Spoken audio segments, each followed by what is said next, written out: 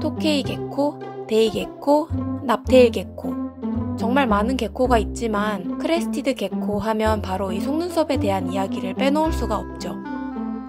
저보다 속눈썹이 긴 자몽이는 잘 때도 눈을 뜨고 잡니다. 그런데 눈치채셨나요? 자세히 보면 눈꺼풀이 살짝 감겨 있어요. 잘 모르시겠다고요? 그렇다면 밥 먹다가 잠든 자두를 소개합니다.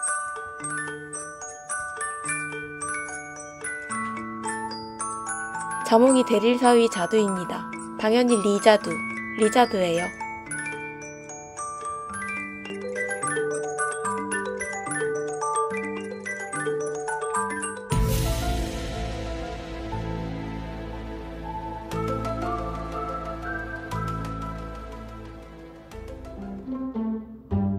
확실히 다르죠? 아무래도 눈을 못 감다 보니까 혀로 틈틈이 닿기도 해요.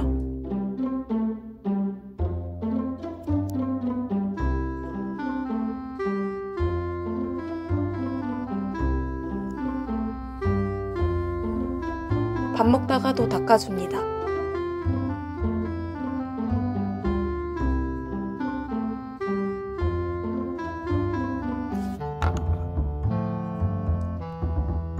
야 이거 그 뭐야?